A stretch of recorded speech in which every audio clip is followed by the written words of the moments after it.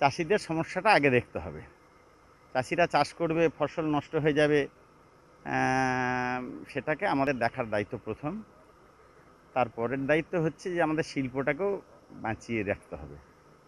তাই আমরা এই শিল্প যারা আছে তাদের সঙ্গে কথা বললাম। চাষিরা যারা রয়েছে তাদের সঙ্গে আমরা কথা বলে নিয়েছি। আমরাও নিজেদের মধ্যে বসে একটা আলাপ আলোচনা করে নিয়েছি। এখন এদের যে সমস্যা, আমাদের মিলের যে পচা জল যেটা বেরিয়ে চাষিদের জমির ফসল নষ্ট করে দিচ্ছে, সেইটার জন্য একটা ওয়ে আউট বার করতে হবে, এটা সমাধান করতে হবে। আমরা মনে করছি অচিরেই সমাধানটা হয়ে যাবে। চাষিদের সঙ্গে, মিলারদের সঙ্গে, প্রশাসনের সঙ্গে কথা বলে নিয়েছি। সমাধান আমরা করে দেবো। ওনারা বললেন যে আপাতত তারা ওনারা এই জায়গা পুরোগুলো সব ঘুরে গেলেন এবং এরপর আরও আলোচনা হবে।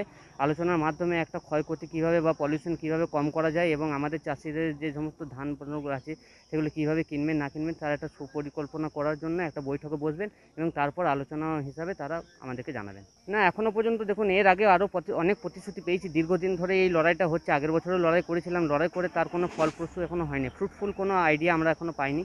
তো এখনও যতক্ষণ না আমাদের সমস্যার সমাধান হচ্ছে, ততক্ষণ আমরা কারোর উপর ভরসা করতে পারছি না। তো মিলওয়ালারা তো শুধুমাত্র এইটুকুই বলছে যে, তাদের যে সমস্ত জল বা বজ্র আছে, তারা একটা ড্রেনের মাধ্যমে বার করে দেবেন। কিন্তু শুধু তো সেইটুকু সমস্যা নয়, ড্রেনটা করে দিলেই যে সমস্ত সমাধান সমাধান হয়ে যাবে তা নয়। কারণ হচ্ছে যে মিল থেকে যে ছাইটা উঠছে, সেটা বলাই হয়েছিল আগের দিন যে, ছাই যখন উঠছে, তখন যা তখন ধান মানে পরিপুষ্ট হওয়ার চেষ্টা করছে, তখন সেই শিশিরের সঙ্গে সেই ছাইটা ঢুকে গিয়ে সেটা আগড়া হয়ে যাচ্ছে।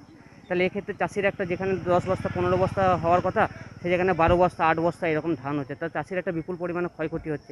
দেখলাম যে আপনার ড্রেনেজের জল যেটা চাষিদের অভিযোগ বা মেলারাও যেটা বলছেন, তো সেই জায়গাতে ড্রেনেজের মিলের যে জলটা পড়ছে, যে ড্রেন মেন যে ড্রেন যে ড্রেনের ওপরে ভিত্তি করে এখানে চাষে মানে কৃষকরা জমিতে চাষ করেন যে জলের মাধ্যমে। তো সেখানে ড্রেনে জলটা মিলে জলটা ড্রেনে পড়ার জন্য জল অলরেডি কালো হয়ে যায়, দুর্গন্ধ হয়ে যায় এবং চাষের পক্ষে ক্ষতি হয়। তো সেটাই আমরা একদম ইনকোয়ারি করলাম এবং দেখলাম সত্য করেই চাষিদের যে অভিযোগ সেটা একদম হান্ড্রেড পার্সেন্ট তো সেটাও কীভাবে সমস্যার সমাধান করা যায় সেটা নিয়ে আমরা আজকে আলোচনা করেছি এবং এটা দীর্ঘদিন যে সমস্যা সেটা অবশ্যই মিটবে। আশ্চর্য হচ্ছে। মিলাররা তাদের কালো টাকার যে, একটা ওদের যে আধিপত্য, সেই আধিপত্য নিয়ে তারা কিন্তু সব কিছুকে অস্বীকার করে যাচ্ছে। কারণ এত ক্ষয়ক্ষতির পরেও ভদ্রেশ্বর রাজনীতির মালিক বলেছিলেন, আমরা সরকারি নিয়ম মেনে কাজ করেছি। আমরা চাষির কোনো ক্ষয়ক্ষতি করি না। এবং বিডিও ম্যাডাম একটা বলেছিলেন যে, আমরা লিখিত অভিযোগ পেলে তবেই আমরা চিন্তাভাবনা করে দেখব। সেই জন্য আমরা চিন্তাভাবনা করলাম, এসব মিলে এসে আর সেরকম লাভ হবে না। তার থেকে আমরা সরকারি দপ্তরে লিখিত অভিযোগই দায়ের করব।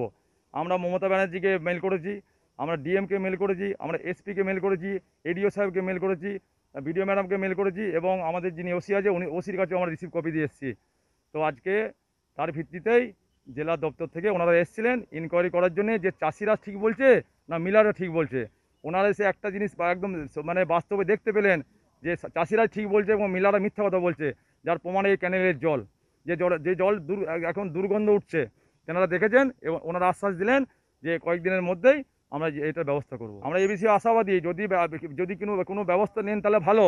নাহলে যে আন্দোলন করছে আমরা বৃহত্তর আন্দোলন থেকে এগিয়ে যাব।